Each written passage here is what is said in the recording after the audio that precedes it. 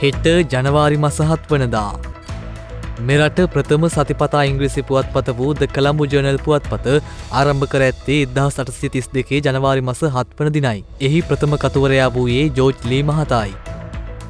පරිසරයේ කුමන හෝ කටයුත්තක් සිදු කිරීමේදී ජලය වාතය ගොඩබිම සහ ශබ්දය දූෂණය නොවන බවට බලපත්‍රයක් ලබා ගැනීම වෙනුවෙන් නීතියක් සම්පාධනය කර ඇත්තේ ඉදහස් තමසය අනුවේ ජනවාරි මස හත්වන දිනයි. ඉතාලි ජාතික තාරකා විද්‍යාඥයකු භෞතික විද්‍යාඥයකු මෙන්ම ගනිතක්ඥයකු වූ ගැලිලියෝ ගැලිලි විසින් ඔහුගේ දුරදර්ශකය යොදා ගනිමින් සඳ මතුපිට ආවාට පවතින බවට කළ නිරීක්ෂණය පිළිබඳව ලිපියක් මගින් එලි දක්වා ඇත්තේ එදදා සයිසිය දහයේ ජනවාරි මස හත්වන දිනයි.